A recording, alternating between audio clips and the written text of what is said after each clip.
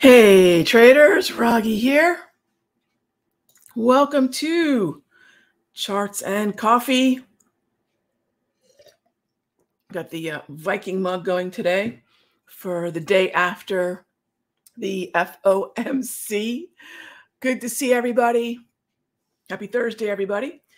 All right, so I do want to go over a couple things before we dive into the questions. And this has a lot to do with actually something that on the surface might seem a little boring, but is going to give you an edge that frankly you're not going to get if you don't look at this particular data. This is a very cool link from the good folks at the CME. So if you Google CME FedWatch tool, you've probably seen me use this many times over the years. This is a fantastic, helpful countdown to the FOMC, 48 days, right down to the second. And if you take a look, you know, there's a lot of chatter about whether or not there was going to be a hike in January. So I'm going to just put it out there because you all come here sometimes for salty Raghee, but definitely for straight shooting Raghee. That was just categorically stupid.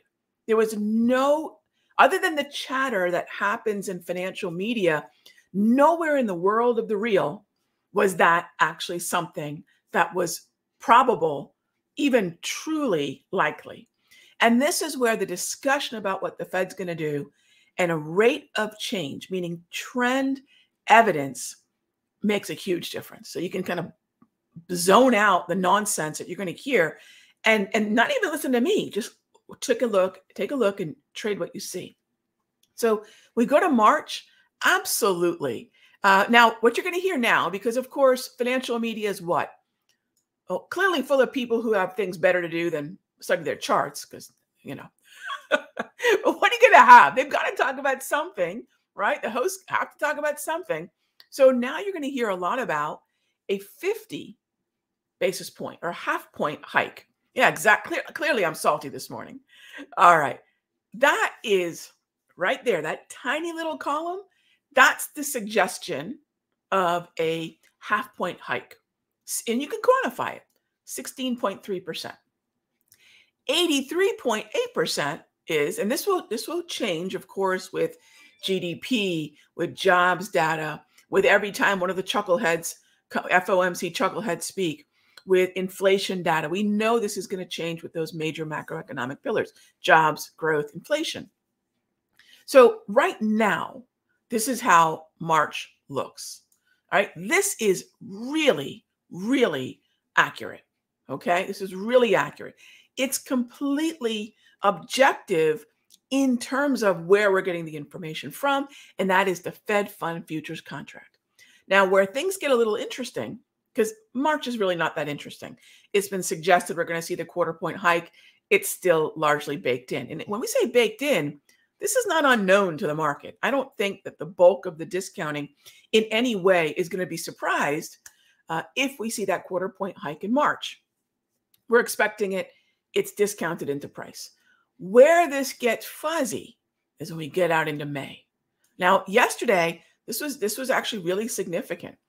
May as a hold, which is the column of 25 to 50, and May as a hike were almost even right around 40-ish percent. You can see what's happened. So quarter point hike in March, quarter point hike in May, and that's where this 50 to 75 column is now in play. Again, these move according to the Fed Fund futures. But believe me, gang, don't listen to the chatter on, on television or wherever it, you're getting the chatter from. Just look at the Fed Fund futures and determine for yourself objectively what this particular contract is saying. Again, knowing that historically it's been remarkably accurate. So when people start talking about 50 basis point hikes and holds and everything else, you can very objectively go here. So I really wanted to spend a moment to walk you all through that because just some of the, the speculation and chatter is, gosh, it's ridiculous. And I don't want you all kind of having to discount things that really are not truly part of the narrative. All right. So that's it for Professor Raghee. Let's jump into your questions. That's exactly what this show is all about. Let's get into it. All right. Um, good morning. I noticed that your videos that you mentioned the JT trends are free, but I couldn't find it. Do you know where I would look to get it? So, Zendi, thank you. There's a number of tools that I make free at the Countdown Trader. That's the automated support and resistance of Darvas 2.0, propulsion, wave, and grab candles. These are free, but I put them in the membership room drive. So if you're not a member of Simpler Trading, you can absolutely head on over to Countdown Trader and get most of what you see on my chart. You can even set up with my specific uh, settings the slow stochastic here. That's built right into TOS. You can do this on TradeStation, TOS. You can do this on TradingView. The, the trade flags, which are these doohickeys right here, these are in the member drive. So right now, this is in the sector secrets mastery. And and i will say and and kind of unapologetically i have always given a lot of indicators out for free and will continue to do so uh, to members and non-members alike. But frankly there are things that i say for the members and once they're a member of my mastery then i like to give them well even more as as a thank you. So the trade flags are, are for for members but everything else wave, grab, automated support and resistance. My gosh, how much more awesome can automated support and resistance be? And then my settings on the stochastics and the propulsion are all available free at countdowntrader.com. All right. Thank you for the question. I do appreciate it. Uh, and I always want to be, you know, I always want to be frank and straight up with you all where things are and, and what's available and not. So I do appreciate the question. All right, Megazard, I was wondering if you gave precedence the V score over a slow stow on a daily or intraday time frame for chop? Awesome question. So if I'm looking at a V score, which is just something that I cooked up out of just straight up desperation in 2008 when I was trying to rebuild my portfolio after, quite frankly, getting a little too close to the news and, and i had friends on wall street that were kind of telling me what was going on uh, that they knew right not not you know, just and I kind of got caught up in the narrative. And and I had at that time five portfolios, three of them I went into cash. I will never do that again. Dumbest thing I ever did. I will never do that again. That being said, when I was rebuilding the portfolio, I knew I had to coattail size. I have to coattail volume. I don't want to be, you know, in my trade by myself. We never want to be in a trade first and by ourselves. I know that seems sexy, but we don't we actually want to make sure that our idea is the same that a lot of other people are thinking. And that's the reason something moves in our favor. All right. Having said that, that's where V score came in. I have to sneeze. Hang on one sec. I try not to sneeze in the camera. All right. So V score is a volume derived tool. Slow stochastic is a price derived tool. So it doesn't have to be one over the other right? It does not have to be one over the other. Uh, but really, if they're both in play, awesome. If one or other is in play, think of it as how many of you have read? It's a great book. I absolutely recommend it. I've actually got a couple copies of it on my bookshelf. I like to give it away. It's called it's by Atul Gawande, and it's called The Checklist Manifesto. Do check that out. It's a short read. You can read it over the weekend. It's absolutely going to change your trading. It's not a trading book. Some of the best books on trading are not trading books at all. So think of it as a checklist. V score, check or not check. Uh, slow stochastic, check or not check. Maybe there's a Darvas level, check or not check. Make sure the environment's right. You see what I'm saying? So the more check boxes we can have, the better, but it doesn't have to be. So I don't know that one is better than the other, uh, but I would say that in the first 30 minutes of the morning after the bell into 10 a.m., which is known as the clearing period. I'll rely more on volatility and volume tools. After 10 a.m., I'll add in a little bit more price tools, but they're both equally valuable, but they're measuring two different things. One's price based, the slow stochastic that I share with you all, and the other's volume based, the V score that I created out of desperation in 2008. All right. Thank you for the question. NQ. Hey there, Peter. How are you? What's up with the NQ? I don't want to get long the NQ. Uh, what I want to do is follow the trend. What do we have here? Bearish momentum, bearish trend. So this is when I say something like this is red over red. This is a downtrend, gang. Uh, if I have eight to 10 grab candles in a row, that's definitely a heads up. That's a warning. And then by the time the 8, 13, 21, and 34 EMAs are aligned, that's a downtrend, gang. And we color code everything because, well, I like to color code everything. So now this is short the rip. We, we know what buy the dip is. We've been doing that for years. Now this for me is short the rip. And it's it's short the rip uh, even more so because of what's going on with ZN. You know, what do we know after after yesterday's FOMC meeting? Look, I want to keep shorting the rip on ZN. I believe we're going to continue to see, and I know a lot of you feel the same way. We're going to see uh, rates continue to move higher. And that's a great downtrend. So we have this macroeconomic trend and we have this technical trend that are meshing, that are dovetailing. And that's exactly where we want to be as, as traders. So I won't say the same thing about the S&P. And frankly, I won't say the same thing about the Dow. But when the broader averages are in chop, and you can see here, that's chop, yellow reading on this particular trade flag. When that happens, it makes a whole lot more sense to ask yourself, well, can we get to some sector clarity? What do I mean, sector clarity? When the indices are in chop, we're probably going to start to see a lot of very clear relative performance to the upside, outperformance, and to the downside. So I think in chop, it makes a whole lot more sense to think less about the indices, unless, of course, you're day trading, which is great, uh, and more about the individual sector. So thank you. Thank you for that question.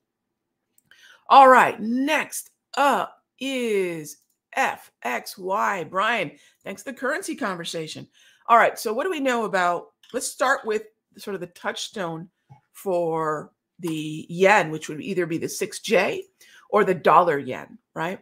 Now, remember, when we're trading yen, we're trading any currency. It doesn't have to be against the US dollar unless you're trading futures or want to trade an ETF, in which case that's really your only viable liquid uh, choice. But in the uh, in the forex, completely different conversation. We compare yen up with almost anything. So that being said, is FXY a good sell the rip? Well, I would want to be bearish on the on the uh, six.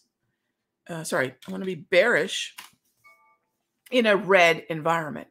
Um, so this is actually neutral at the moment, which is fine. What I'll do is I'll look back to see what was the dominant color of the grab, which stands for green, red, and blue. What was the dominant color of the grab candles? Well, it was red. We have a downtrend here. So when we are in chop, like we are right now. And then take a look. Here's your Darvas automated, Darvas automated. Gang, I'll tell you what, regardless of what kind of current setup, layout, strategy you're using, the automated Darvas 2.0, which, oh my gosh, it's free over at Countdown. Not because it's not valuable, but because back in 26, 2017, I thought, you know, this could help traders, period. Period. And and we knew that this kind of objective support and resistance speeds up the learning curve. You know, the more you can automate based on a process, anything that you put on your chart, you're going to speed up your learning curve. So, you know, this is kind of where I'm heading into this part of my career. How can I automate the tools that I did manually for two to three decades prior? And, you know, this is one of those things that's going to be a needle mover. So, if we're going to sell the rip, I really need a trend. So, Brian, not a sell the rip, but I get the gist of what you're saying. Can we short this thing? Well, take a look. Right here. Now, this is a choppy market. Choppy markets do what? They validate an oscillator like the slow stochastic. So I've got my resistance here. I've got my signal here. Yeah, I think you're in good shape for a short. I think you're in really good shape for a short. However, you know, this is where I would say this is this is really a relationship between dollar and yen. So you want to see the dollar continue to strengthen in this relationship. It's not just a yen weakness, but it's dollar strength. And if the equity markets start to roll over and head lower, yen will strengthen too. So be careful with that. I'm a little bit more a fan of the 6E right now because I'd like to buy dollars. I'd like to be in a long dollar, bullish dollar position. We've talked a lot about that. And what's happening today with the euro, that's, I would really keep an eye on the 6E or the FXE because this is a pure US dollar long setup. All right. Thank you for the currency question. Love it. Absolutely love it. Okay, moving on to the next question. All right. Can we take a look at F and absolutely PM? Sure. Let's start with Ford. Okay. So with Ford, this had a great run. And I, and I know a lot of folks in the uh, simpler community took advantage of this. Look at this here. Look at all the green grab candles, right around eight to 10 in a row in this area. You're already thinking bullish. Not that it's going to have this kind of move, but you sure don't want to short it. And then on the dips, a lot of you know double green or green momentum, green trend, bullish momentum, bullish trend, bullish candles. That's what those green grab candles are telling you. You know, you buy you buy the dips. This is not the same environment, is it? However, the preceding trend was up. So I still carry uh, into any setup that I want to look at, I still carry that little bit of bullishness, right? Let the previous trend dictate your bias. We may not have a trend any longer, but we did have the previous uptrend.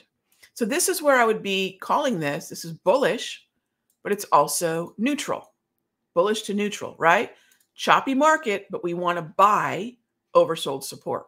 Darvas steps in and says, here's your oversold support starting around 1918, so call it 1920, and extending all the way down to about 19, uh, 1860. That's your oversold zone. And then what do you want to do? Once we have now, the only time you want to consult the slow stochastic is when this is yellow, when the trend is neutral. And then now we can say, all right, here was the oversold.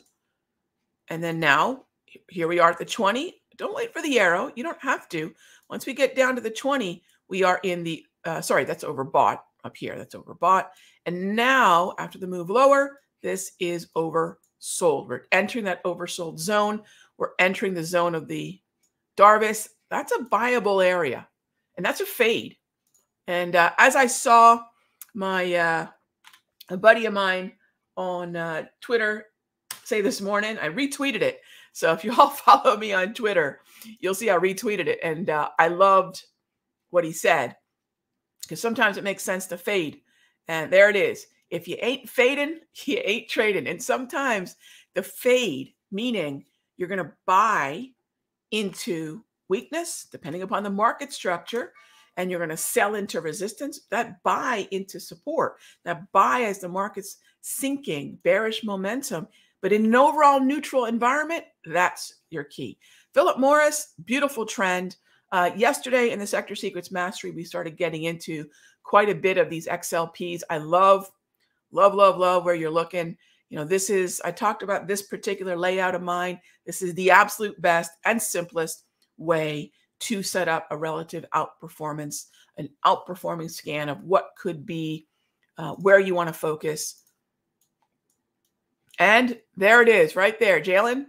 Great bullish momentum, bullish trend. This is where the individual, this is what I call a boat.